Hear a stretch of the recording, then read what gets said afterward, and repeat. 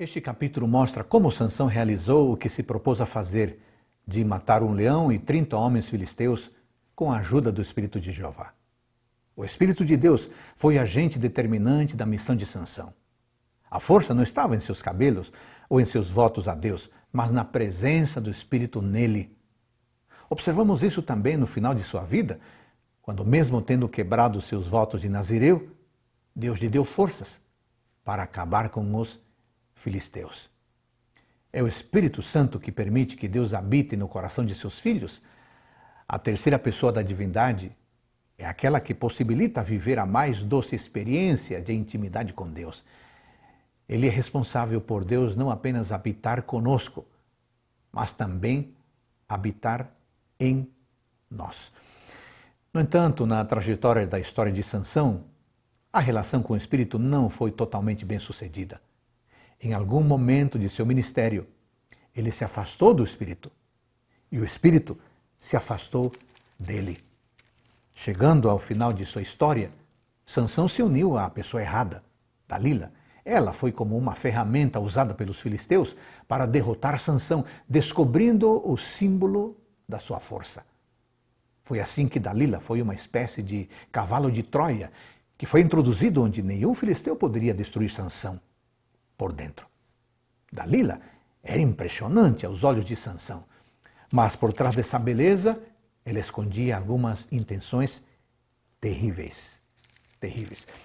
O apóstolo Paulo diz: Não vos embriagueis com vinho, no qual há dissipação. Antes, sedes cheio do Espírito.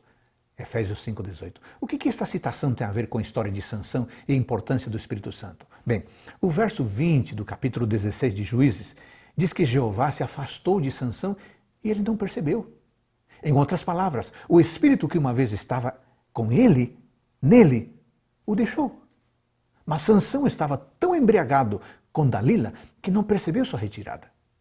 É como um bêbado quando bate ou sofre um acidente. Nesse momento ele está tão anestesiado pelo álcool que não sente a dor, não sente o sofrimento.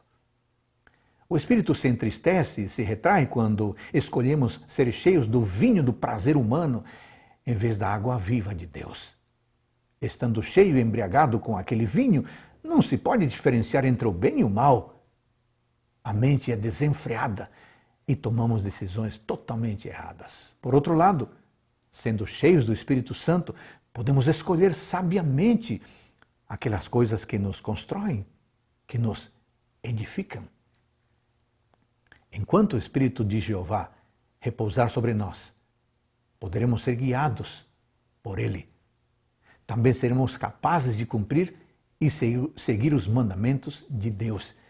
E mais, receberemos poder para cumprir cabalmente a missão que Deus tem para cada um de nós vivamos diferentes de Sansão. Vivamos perto do Espírito Santo sempre. Esse é o segredo de uma vida vitoriosa. Amém.